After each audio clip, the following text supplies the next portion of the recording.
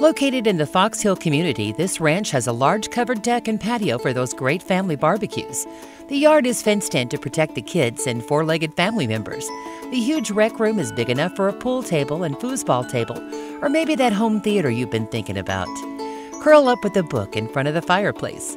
The main level has wonderful light, a large living room, and a separate kitchen with a nook for cozy morning breakfasts. Contact Marie Raines for more details.